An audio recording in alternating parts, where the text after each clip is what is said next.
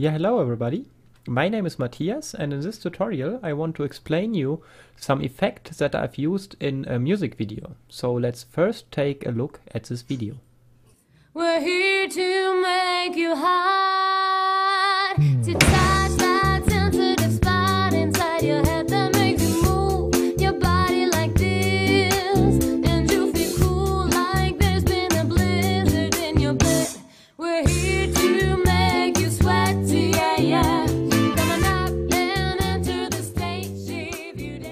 So the effect that I want to explain is how to get these moving postcards onto the wall. I don't show you how to do all the postcards because it's basically the same for any one of them, but what we will have at the end of the tutorial will hopefully look like this here.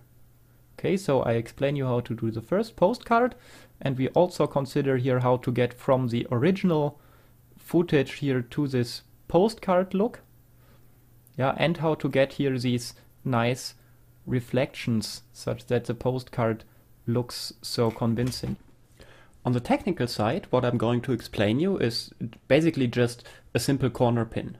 But there are still some things to learn, I guess. So one important thing is is how I do these uh, realistic reflections. Then I'm going to show you a way how to get a live preview of your corner pin while you are tracking. So usually you track and then you hit apply and then you've got your corner pin. But the way I do it, you already see the corner pinned picture while you are tracking and this is much easier than to judge whether your track is good. Uh, third thing is that I show you a really, really clever way to extrapolate the motions of corners that left the screen.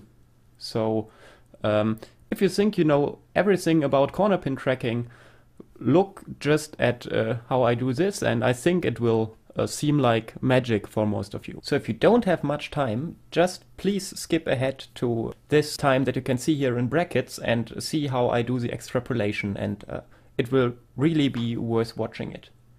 And finally, a last thing that you can learn is a clever way to quickly get garbage masks. Just one remark before we start. So you can watch the entire music video on my Vimeo page. Look at this URL here. Um, here you find the music video itself, some making of or basically more uh, before after comparison, uh, and also quite important, you have here several uh, video tutorials, other video tutorials that explain two scripts of mine, namely KeyTweak and uh, Tracker to Mask. And we are also going to use these scripts in this tutorial. So if you don't know how to use KeyTweak and Tracker to Mask, you get a more detailed explanation of this in these tutorials here. Okay, so we start by dragging the footage of our door into a new composition. So this is our background footage with the black postcards on it. And then we also drag into this our corridor footage. Here this is a postcard that we want to pin onto the door. And what we now need to do is some corner pin tracking. So we first apply a corner pin effect to the corridor footage, or precisely we do not use a corner pin but a CC power pin. This is basically the same as a corner pin but with a few more options. You can see here we've got the four corners of our layer and we can uh, modify them as we like. And so we want to track these four corners, select our door layer, go to animation, track motion, and select as a tracker type perspective corner pin. What we do now is that we connect the four corners of our CC power pin effect to the four corners of our track points. So here we are interested into the for into the attach points of the four track points. So our first tracker here has four track points and each of them has an attach point. And here we've got our CC power pin effect with the four corners, each of them as a property. We select all these four properties, keep the Alt or Option key pressed and click on the stopwatch to introduce an expression. And we use a quite simple expression that just connects the respective corner pin corner uh, to the appropriate feature center of the track point. So select here the first corner and just drag it into the attach point of the first track point. And we do the same for all the others. So second corner goes to the second attach point, third corner to the third attach point, fourth corner to the fourth attach point. And what we have now is that we can track and while we are tracking, we already get a live preview of the final corner pin. I will just drag it here next to it. You see that as we adapt our track points here, the corner pin updates appropriately. So while you are tracking, you already get a preview of the final result. Now we start tracking and stop the track from time to time to see whether it's still whether the corners look okay and to allow the feature to be adapted.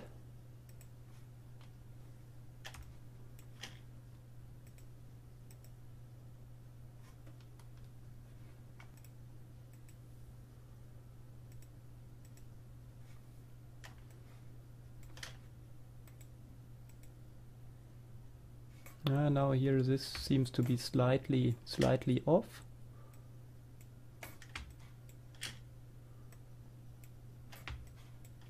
Maybe there it also helps to increase the size of the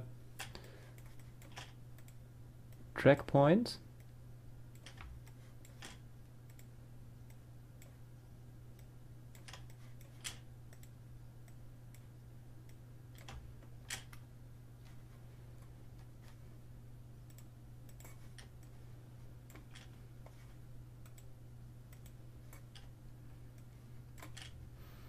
And now you see we come near to the point where the corners leave the screen. Okay, then you get this strange error, so we go one step back where it's still okay. And so the one that leaves the screen is a track point 2. Go into this track point and delete the last keyframe for the feature center and uh, the attach point and the confidence. And now we also uncheck here this eyeball of this tracker. So the remaining track is done without this track point. So if you deactivate the eyeball or uncheck the eyeball of the respective track point, the track point is no more tracked. So we only continue with track points 1, 3 and 4. So now track point 4 also leaves the screen, so we uncheck it too. Continue tracking.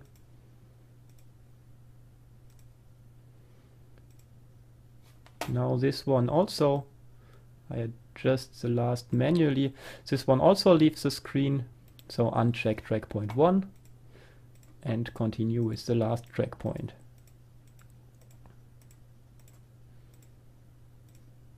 Also I adjust the last one by hand.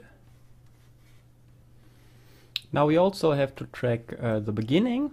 So we go to the first point where we started tracking. Again, make all track points uh, appear and track to the left in the same way. Now we also approach frames where track points start to leave the frame and we do the same thing there again. So now this one is going to leave. So I uncheck track point 3 and maybe at the same time uh, maybe this one will do one further step or even more. So from here on we also uncheck the first track point and continue tracking with the other two.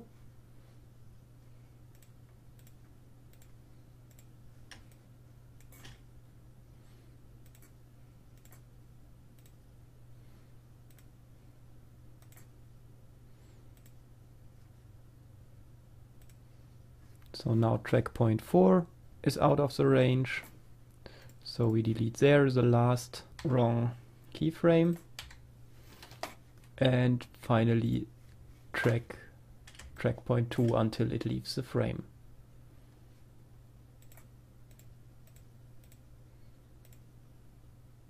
So if you look now at our track, you see that it's uh, not uh, or that it's far away from being perfect. So for example here this track point has had quite some drift during the track so it should be here and not there.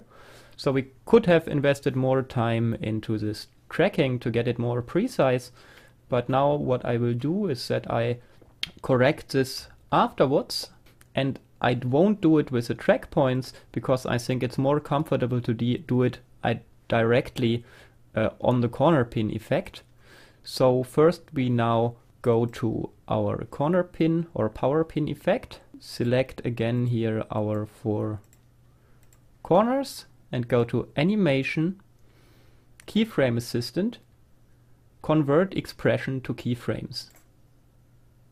What we now have is that our corners that we have tracked are now no more uh, dependent via expressions from our track points, but are encoded as keyframes so that we can now manipulate these keyframes here instead of the keyframes of the track point. And what I want to do is to um, improve the tracking using uh, a script called keytweak. So what we need for uh, to use keytweak is a duplicate of the points that we want to correct. So what we do is we duplicate this power pin effect. And as you see, this looks quite strange. So we deactivate the effect because then uh, it doesn't change our image. And in this duplicate now we delete the keyframes that should be corrected. So as you can see here, our position is still correct. And now here it starts drifting until it leaves the frame here. So we again go to this position and delete for the respective track point top right the corresponding keyframes. This one was correct, this one is already drifting until this position here. Delete all the keyframes in between. And correct this one manually like this. Now we hit this top right of the copy and of our original corner pin effect Okay, like this. Select top right of both. Go to key tweak. Hit override orig original and apply key tweak. And now you can see that the drifting is fixed. Okay, and now once this correction is done, we can delete the copy of our corner pin effect again.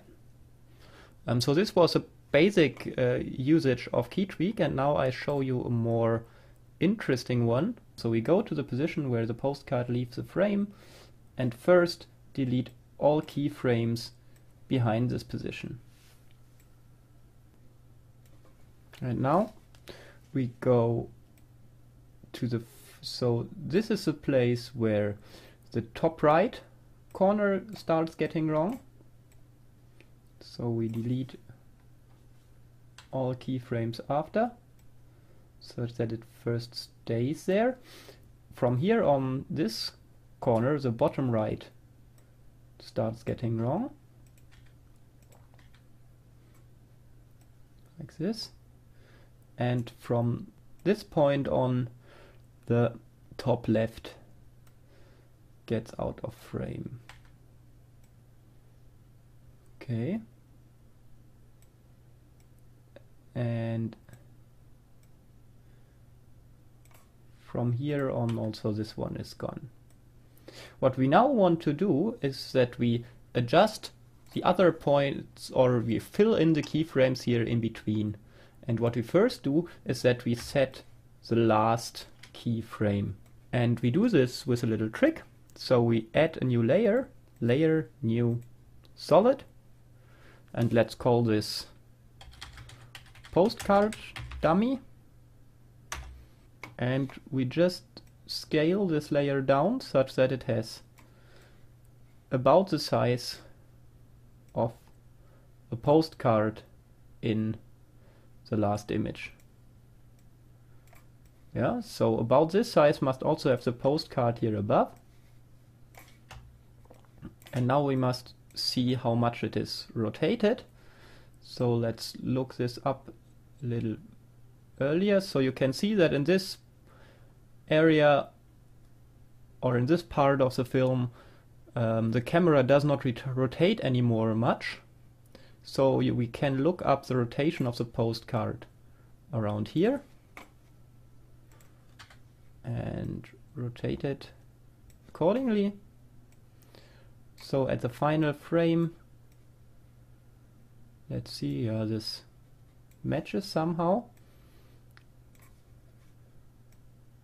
So here at this position, the postcard will be something like here. And now we can set the respective power pin corners accordingly. So this one is here, this one here, and this one here, hopefully. Let's turn on the visibility of this layer again. And you can see that the interpolation in between does not yet work very well. Yeah, as you can see here.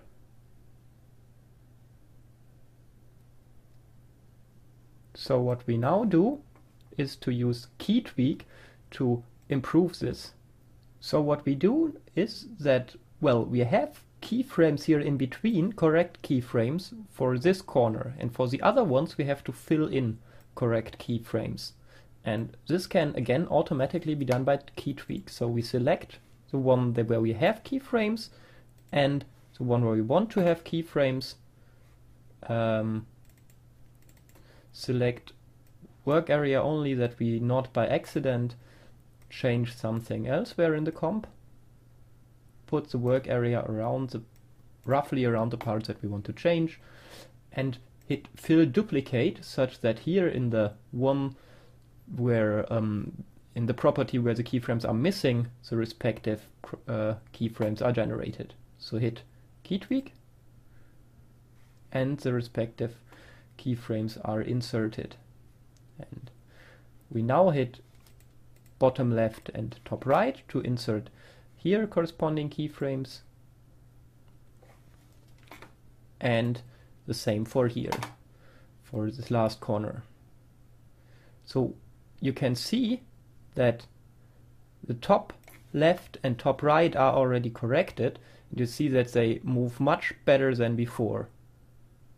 So what key tweak here does is the following. If we apply key tweak to bottom left and bottom right, and in bottom right some keyframes are missing, but we have some keyframe here before this gap and afterwards, then key tweak fills this gap by moving from the point specified here, so from this point, to the point specified here, so to this point, but not to do a linear move, but to move in the same way as the other track point moves. Okay? And this then looks as follows. Here now you can see that the movement is much much better than, than before. And all this fully automatic uh, with key tweak. So then we have to do a similar thing at the beginning. So first of all, we again delete all the keyframes that are wrong where our corners leave our screen.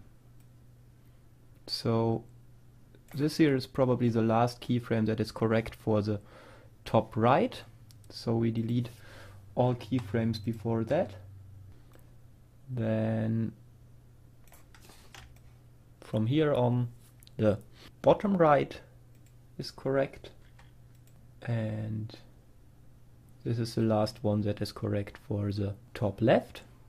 And this is the last one being correct for the bottom left.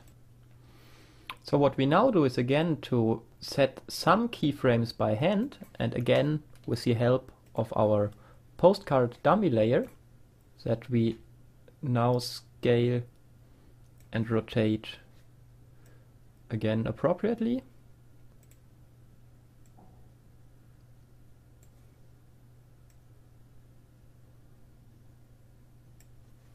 So what we finally want to end up is with a position where the four corners exactly match the four corners of our screen. So we set this as a first keyframe. And since in our background footage, this is not the case that the four corners here exactly end up as the four corners of the screen, what we do here in between somewhere is to have a keyframe where all four or where the, the entire postcard is a little larger.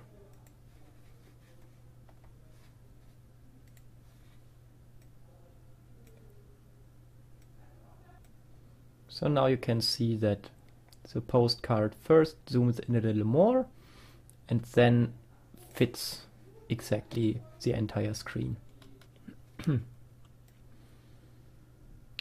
okay, now you can see that here we've got a little bit the black postcard showing through, so maybe at this keyframe this position might need to be a little higher.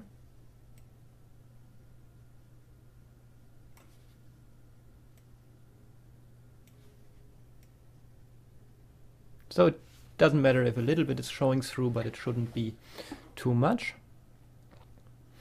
And now we can again uh, improve this movement here with the help of key tweak.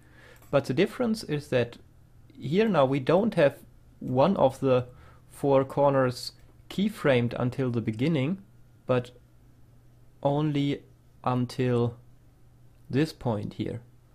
But the usage is exactly the same. Select the one with the many keyframes and select another property. Move your work area accordingly and hit key tweak. So it now only fills in this part because here also uh, this property has no keyframes. Key tweak this also. And finally also this one.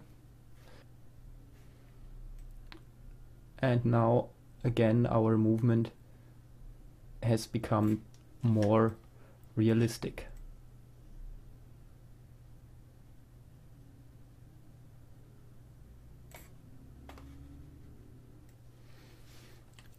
So what we now have is basically that we have uh, finished our corner pin, but what we see here, our result, does somehow not yet look like a convincing postcard.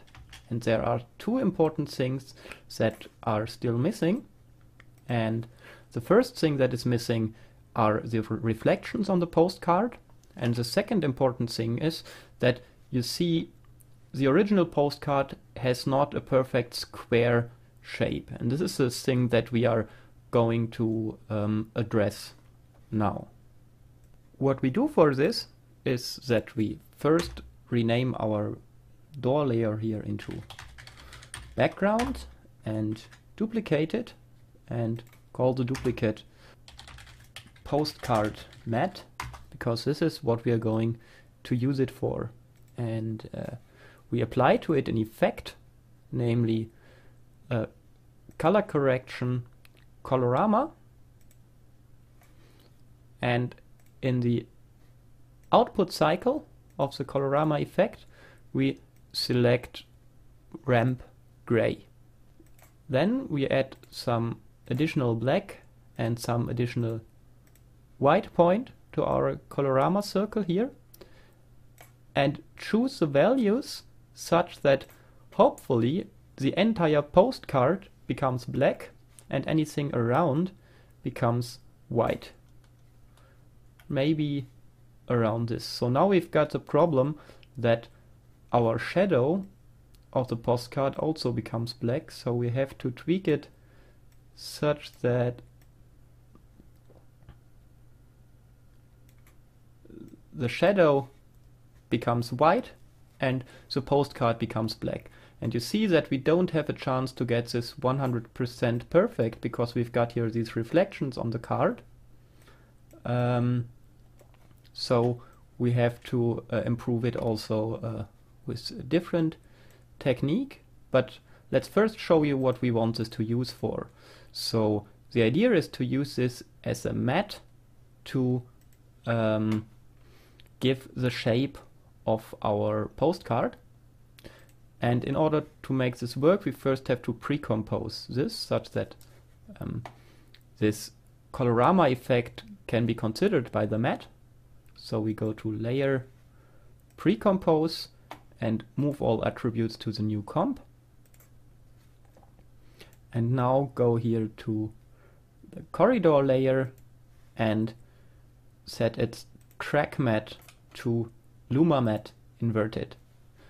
And now you can see that the shape of the postcard is now limited by this black and white. So you see here where we've got the white area also a part of our postcard is missing. So this is something that we don't want that we want to correct later. But now we get here this original nice shape and you see that here our corner pin is a little bit too small and that's the reason why we didn't use a corner pin but actually a CC power pin effect because now in the corridor we have here this expansion in the power pin effect.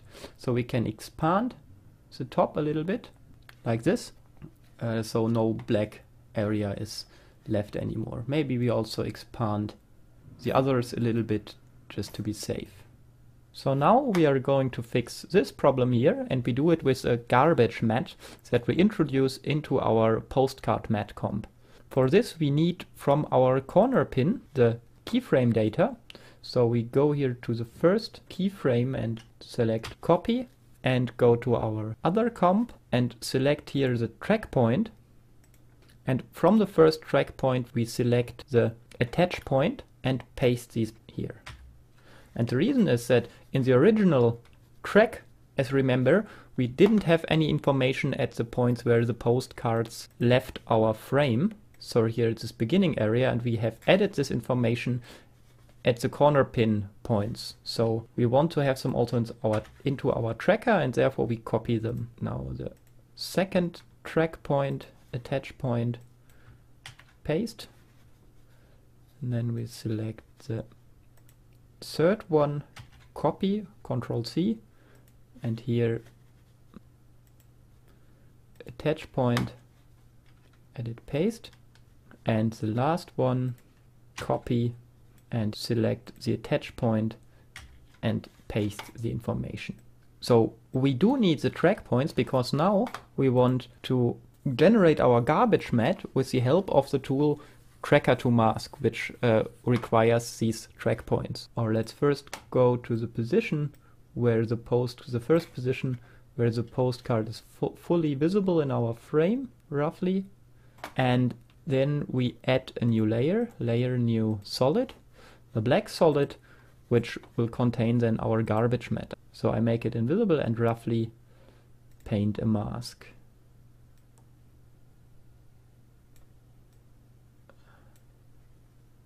And now we go to our mask path and hit the stopwatch to animate it over time. In addition to the mask, we now also select our four track points, four track points and the mask. And in tracker to mask, we freeze our selection. And now we are ready to work with this mask and these track points. So first of all, we can infer here the shape of the mask to the left using this button here. You see that the mask grows accordingly with the track points. Well, here it's maybe a little large. So let's adjust this point here a little bit accordingly. I mean, here the, the background is anyway black, so it doesn't matter a lot. Here it's also not as precise as we want it to be. And hit analyze forward until the beginning. Or let's say maybe from here on we just keep it as it is and delete the keyframes before. Okay, and now we maybe adjust this point here again manually because tracker to mask always works better if you've got manually corrected informations on both sides, so meaning before and after the positions that tracker to mask should infer. Maybe like this. And now we let tracker to mask infer the keyframes in between. So at this position, yeah, it infers something quite reasonable, but here the handles don't work perfectly. So we just roughly adjust it, go again here in the middle, let it adjust. This is a little bit manual work. Here it works already quite well. Let's see whether here also some more work is necessary. Like this. Okay, so overall we shouldn't invest too much time. It doesn't have to be too precise. I think this will work for us here. Can again infer a keyframe. Uh, that's nice. Here maybe also.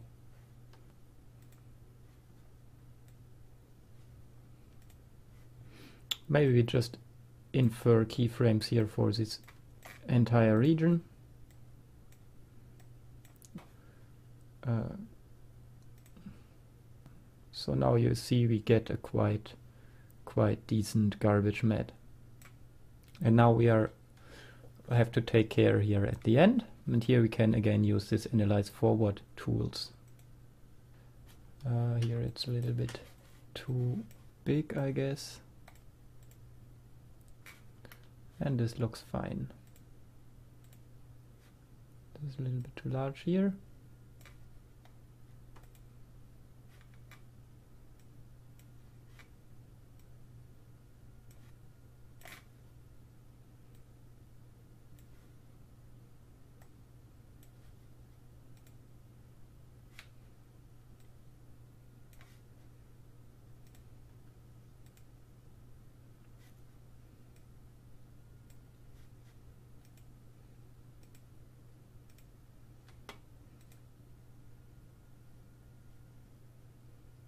Okay, so this is our garbage matte. So we now we can make our black layer visible again and how now have a perfectly black postcard. Back to our original comp. Now these reflections don't show up anymore as holes in our postcard. So the final thing that is now still missing are the reflections onto this postcard. And for these reflections, we reuse our background layer. So this postcard dummy is no more needed. We duplicate our background and rename it into reflection and put it at the top of the comp. And you can see that on our background layer, we have already nice reflections because we use these black glossy postcards in our shot. So we reuse the reflections that are already there. Look, for example, here at this nice reflection by setting the mode of these reflections here of this reflection layer to add. And now you see we also have these reflections onto our postcard, but we have to make sure that we only add it on the postcard and not on the remaining shot. And to do this, we first pre-compose our postcard, this corridor layer here with its matte. So layer pre-compose, let's call this postcard. And now we duplicate our postcard, put it before our reflection, turn its visibility off, and set now this postcard as a alpha matte for our reflections. And now the reflections are only on our postcard. Another problem that remains is that you can see that our postcard is now much too bright.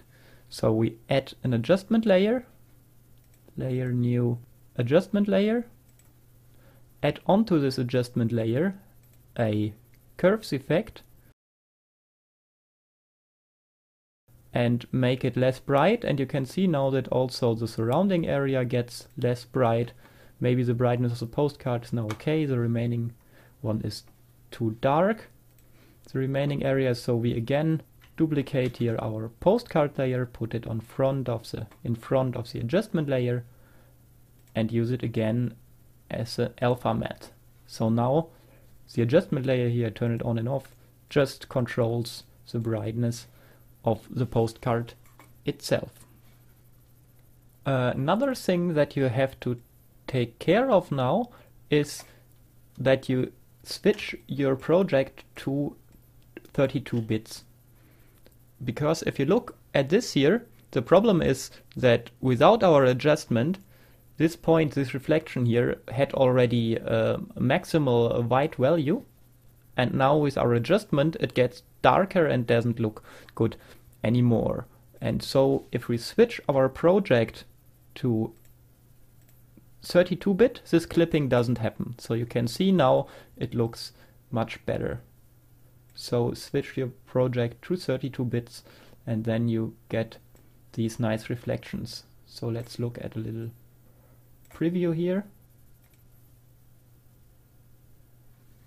See here the nice reflections on top of the postcard. Okay, what remains are now a little tweaking of the parameters that we have uh, introduced so far. So for example, you see that here our matte doesn't seem to work perfect. So we have to adjust it again a little bit.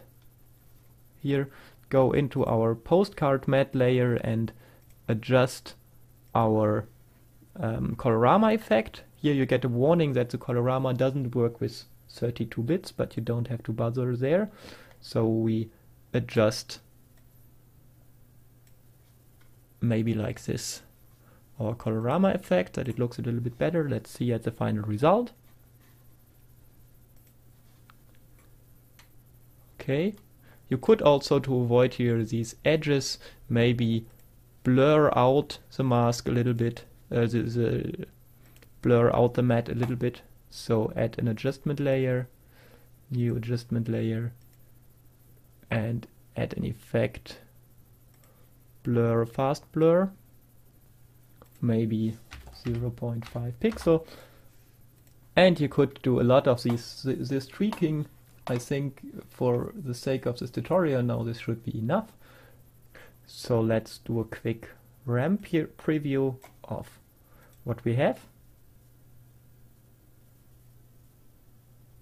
yeah here at the beginning maybe also a little tweaking is necessary for example you see that here a little bit of the black shows through, though there are different possibilities. Either you modify to modify the corners of your corner pin effect. Another option would be to just in our postcard increase on our effect increase here the expansion to the right a little bit more maybe like this. Yeah, now this is gone. And another thing that we can do is we don't want this structure of the postcard to be here from the beginning, so, so we can slightly fade it in. So select our adjustment layer and our reflections layer. Hit T for transparency or opacity. Maybe at this point the reflections should be fully visible, so we hit our stopwatch. And here the reflections should be not visible at all. So put this down to zero and you can see how the reflection disappears if we do it put it down to zero. And now we start really with our original footage and now this postcard look gradually fades in okay so that's it I hope you enjoyed this tutorial and yeah, this here is our final shot.